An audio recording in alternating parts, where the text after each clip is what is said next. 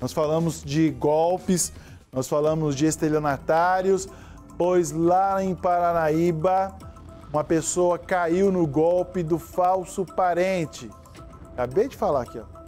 Pega o celular, liga. Oi, mãe. Oi, pai. Tô sequestrado. Me ajude.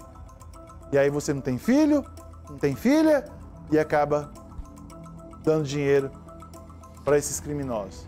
Ô Jean, como que aconteceu esse caso aí? Fala pra gente. Olá Israel, olá a todos que nos acompanham. Isso mesmo, Israel. Um homem de 41 anos perdeu quase 10 mil reais ao cair em golpe do falso parente.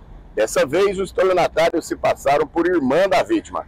De acordo com a ocorrência, compareceu à delegacia por volta das 14 horas e 11 minutos de ontem a vítima, um homem de 41 anos, informando que recebeu mensagem via WhatsApp e o número DDD 016 em que a pessoa se passava por sua irmã, inclusive utilizando uma foto de perfil da mesma.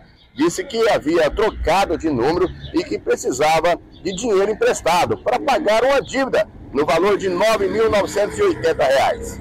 A vítima, acreditando que seria de fato a sua irmã, efetuou transferência, três transferências para a conta pertencente a uma mulher, quais os dados já estão com a polícia, nos valores de 3 mil, 2 mil e 4.980, totalizando os 9.980 solicitados. A vítima só percebeu que se tratava de um golpe após os golpistas pedir mais dinheiro e aí então procurou a polícia. De Paranaíba, Jean Martins.